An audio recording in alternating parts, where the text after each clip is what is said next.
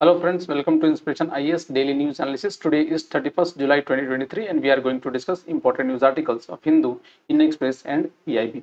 तो आज का हमारा पहला न्यूज़ है वो आपने रिसेंटली सुना होगा कि कि करीब 46 ईयर ओल्ड जो नेमाटोड है जो बेसिकली जिसको हम लोग राउंड वॉर्म बोलते हैं वो साइबेरियन परमाफ्रॉस्ट में मिला है और लगभग लगभग रिसेंटली उसको वापिस से ज़िंदा किया गया है मतलब ये अभी तक का डोरमेंसी का हाईएस्ट रिकॉर्ड है। मतलब आप समझ सकते हैं कि 46 इयर्स 46,000 ईयर ओल्ड एक ऑर्गेनिजम्स जो डोरमेंट कंडीशन में पड़ा हुआ था परमाफ्रॉस्ट में मतलब बर्फ़ में उसे वापस से ज़िंदा किया गया है। और ये साइंटिस्ट के लिए एक बहुत बड़ी अचीवमेंट है प्लस ये मेडिकल साइंस के लिए बहुत बड़ी अचीवमेंट है कि आखिर वो जो राउंड वॉर्म है, ज़िंदा रहा कैसे? अगर ऐसा हो सकता है मतलब if this can possible then ये इंसानों के लाइफ या मतलब लाइफ को बढ़ा सकता है अलोंग विथ अलोंग विथ हमारी जो एजिंग की जो प्रॉब्लम है, उसको ही बहुत हद तक सॉल्व किया जा सकता है। गेटिंग इट तो बहुत ही इंटरेस्टिंग डिस्कवरी है और बहुत ही इंटरेस्टिंग रिसर्च हुआ है लाइफ साइंस में। ठीक है? और ह्यूमैनिटी के लिए कहा जा सकता है कि ये एक मतलब एक सबसे एडवांस रिसर्च होगा इसमें। और it can open new fields और new doors to the animal human life and human ageing ठीक है? इंसान आने वाले समय में हो सकता है कि इंसानों को भी ऐसे डॉर्मेंट रखा जाए और दूसरे आपके प्लैनेट्स या दूसरे स्टार्स तक हम लोग इसको ट्रैवल किया इसको यूज़ करके ट्रैवल किया जा सकता है। अपने फ़िल्मों में बहुत बार देखा भी होगा कि लोग कोल्ड स्लीप में चले जाते हैं या डॉर्मेंट कंडीशन में चले जाते हैं इंटरस्टेलर जैसी मूवीज़ में। तो आ, हो सकता है आने वाले टाइम में ये रियलिटी भी हो जाए ठीक है? तो समझते हैं, थोड़ा सा ये है क्या? जैसे आप लोग को मालूम होगा, राउंड वॉर्म या जो नेमाटेड, जैसे कि एस्करिस वगैरह, लम्ब्रिकॉइड या पेट में जो कीड़े वगैरह होते हैं, उनको राउंड वॉर्म बोलते हैं।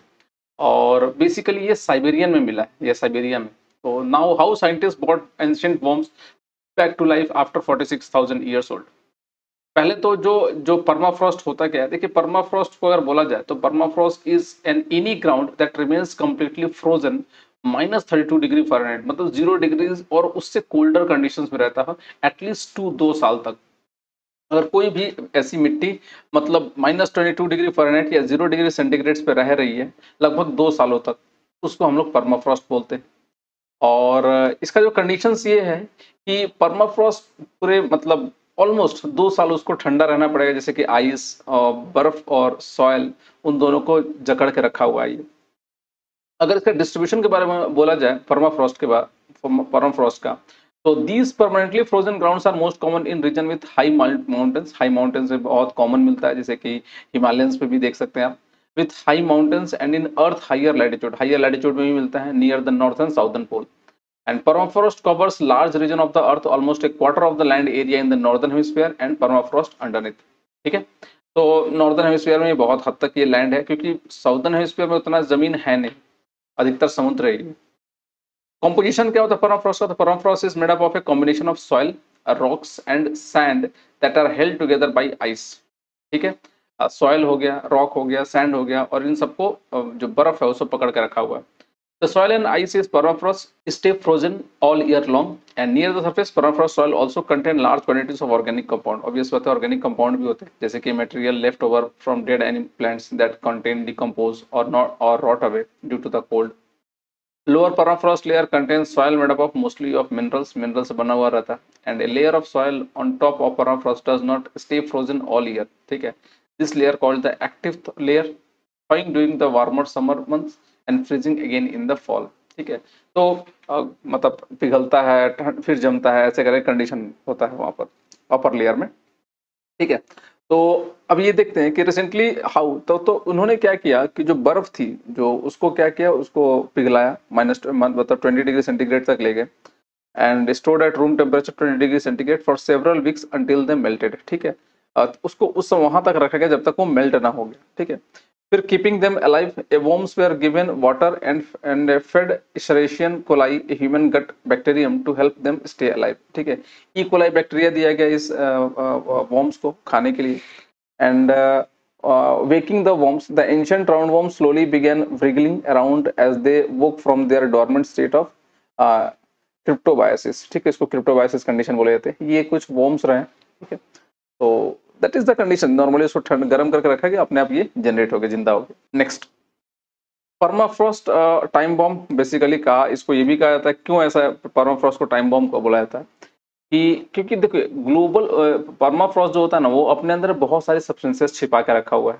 जैसे it can be harmful gases also it can be methane it can be other gases which can be अगर वो पिघला वो मिट्टी तो हो सकता है वो सारी चीज़ें रिलीज़ हो जाए इन्वायरमेंट में and they can cause damage to our ecosystem तो global warming cause surface of the temperature to rise and उसके बाद होगा क्या कि परमाफ्रॉस्ट वार्म्स ऑफ़ परमाफ्रॉस्ट गर्म हो जाएगा and frozen organic matters thaws and decay वो मिट्टी जो ऑर्गेनिक मैटर है मतलब सड़ना शुरू होगा और सड़ने के चलते they will give rise to methane formation मतलब greenhouse gas 25 times more effective of trapping heat from than carbon dioxide तो मिथेन बहुत ज़्यादा जनरेट होगा और मिथेन ज़्यादा जनरेट होने से वापस से वो क्या करेगा? हीट को अपने अंदर में ऑब्जॉर्व करके रखेगा that is greenhouse effect होगा। And carbon is release into the atmosphere और कार्बन भी रिलीज़ होगा, उससे भी ज़्यादा अमाउंट ऑफ़ हीट ट्रैप होगा। And at the end, emission from the permafrost accelerate global warming, which then accelerates the permafrost melt and global warming could much more worse than the predicted ठीक है? तो इस तरह से बहुत तेज़ी से ग्लोबल वार्मिंग फैलेगा। ठीक है? तो this is the conditions of the permafrost and इसी को time bomb permafrost time bomb भी बोला जा रहा है। ठीक है? तो it can give rise to a very dangerous repercussions to our environment and हो सकता है ग्लोबल वार्मिंग और स्पीड अप हो जाए। That is the terms related with the uh, this permafrost. इसको थोड़ा देख लीजिएगा। It can it can give certain linkage और हो सकता है यूपीएससी इसको लिंक करके आपसे क्वेश्चन पूछे। Go through this one.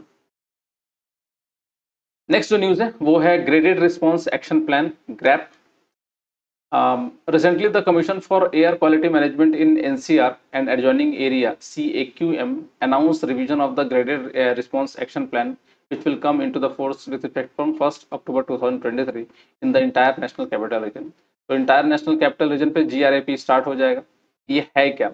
देखिए नॉर्मली कहा यह जाता है it is a set of emergency measure एक तरह का इमरजेंसी मेजर है that kick in to prevent further deterioration of air quality once it reach a certain threshold in the Delhi NCR region मतलब अगर मान लो एक कंडीशंस एक सर्टेन कंडीशंस एक सर्टेन सर्टेन लेवल को अगर दिल्ली की जो इन, हवा है और वो उस तरह से इतना पॉल्यूटेड हो जाए एक पर्टिकुलर लेवल तक देन ये ऑटोमेटिकली ये सारे रिस्पॉन्स टीम एक्शन स्टार्ट हो जाएगा। तो GRAP was first notified in January 2017 by the ministry of environment forest and climate change. उन्होंने ही पहले इसको सजेस्ट uh, किया था। बट ये कैसे इम्प्लीमेंट होगा? तो the commission for air quality management has constituted a sub committee for the operationalisation of the GRAP तो ग्रैप के लिए एक कमेटी बनाई गई है। This body include official from the C A Q M member secretaries of pollution control board of Uttar Pradesh Delhi Haryana and Rajasthan. It can come into your examination कौन कौन लोग involve है? State involve है ये वाला।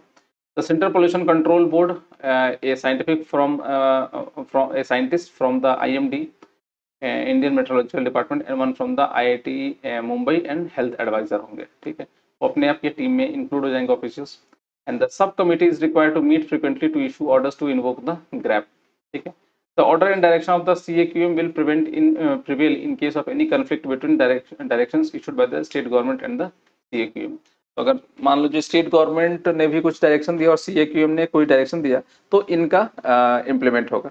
ठीक है? तो this is regarding the graded response action plan next इसमें क्या क्या इन्वॉल्व होगा? तो सबसे पहला what are the revise measures number one stage one में होगा poor air quality index ranging 201 to 300 in force NGT national green tribunal honourable supreme court order on over aged diesel petrol vehicle तो जो भी supreme court ने order दिया है कि जो ओवर एज डीजल या पेट्रोल व्हीकल है, उनको दिल्ली से हटाओ, निकालो यहाँ से।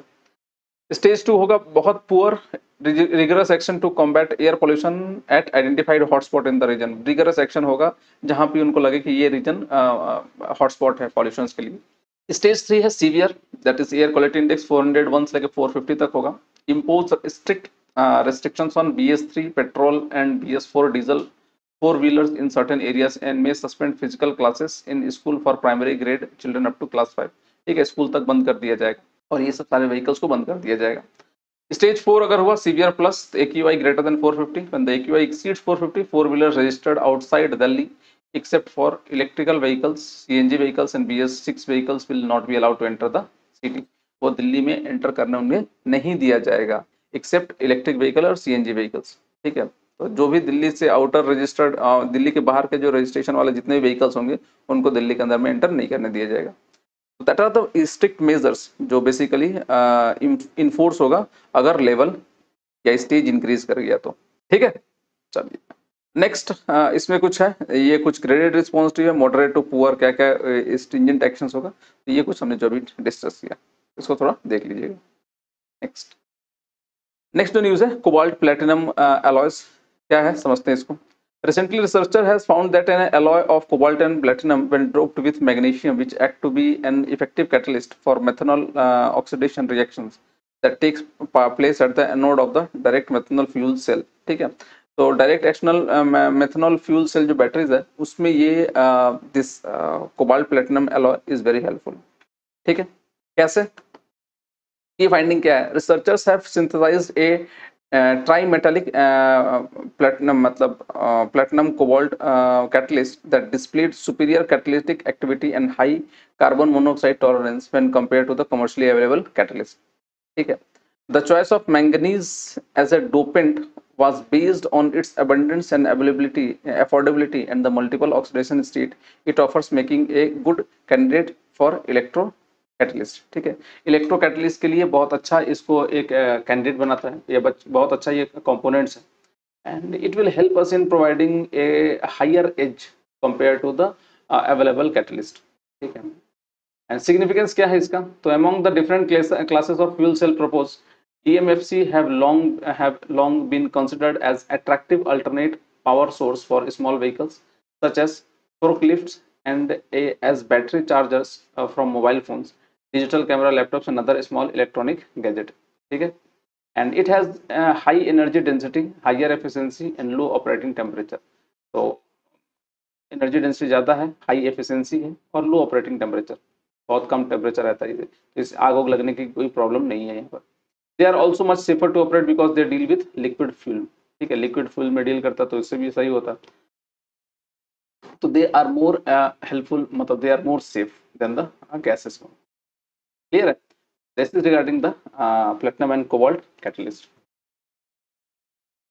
next next जो अपना न्यूज़ है uh, वो लाइफ स्टाइल फॉर इन्वायरमेंट क्या है? समझते हैं आपको The Indian Embassy in Kathmandu and the Indian Consulate General in Birganj recently held a series of events on the life missions. ठीक है? लाइफ मिशन इन्होंने स्टार्ट किया है। And this action are related to saving power use of water eliminating single use plastic E waste and more ठीक है? कुछ ऐसे programme initiate किए गए हैं ताकि इन्वायरमेंट को बचाया जा सके। क्या क्या है? Life mission the mission life और life style for environment is an Indian led global mass movement to nudge individual and community actions to protect and preserve the environment ठीक है? इंडिविजुअल प्लस कम्युनिटी को थोड़ा सा हिलाएगा कि आप ये environment को प्रोटेक्ट करिए। It was launched by the Indian Prime Minister at the 26th UN Climate Change Conference uh, of Parties 2026 uh, COP26 in Glasgow in November 2021. तो नवंबर 2021 में इसको पीएम मोदी ने इसको अनाउंस किया था And the program hopes to mobilize 1 billion Indian as well as people in other countries to become individual who practice sustainable life cycle lifestyle ठीक है sustainable जो लाइफस्टाइल अचीव करना चाहते हैं या उसको यूज़ करना चाहते हैं the global movement will showcase sustainable goals goals and climate action taken by the countries and individual around the world ठीक है? वो शोकेस करेगा कि कौन कौन सी कंट्री ने क्या क्या एक्शंस लिए it makes the fight against climate change democratic and in which everyone can contribute with their respective capacity जिसको जितनी मतलब पावर है, उतना वो हेल्प कर सकता है क्लाइमेट को प्रोटेक्ट करने में। It emboldens the spirit of P three model that is pro planet people ठीक है? And its function on the basic principle of life style of the planet for the planet and by the planet ठीक है? तो ये कुछ चीज़ें होगी, जो लाइफ मिशन के संग अटैच होगी।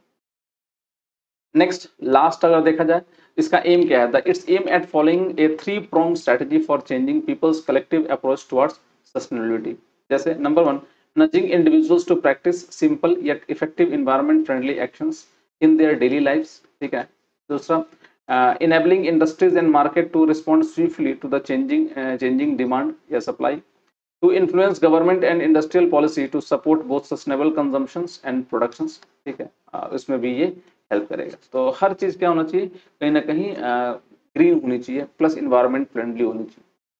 Both from the supply to the demand as well as the policies also तो this is regarding the life missions so that's all for today in daily news analysis. aaj ke liye itna hi and if you want the pdf of, of this lecture you can always visit our uh, telegram channel at inspiration is you can also follow our social media page like facebook instagram and youtube channel. And thanks for watching and please do subscribe to our youtube channel and facebook page for such other video contents. Take care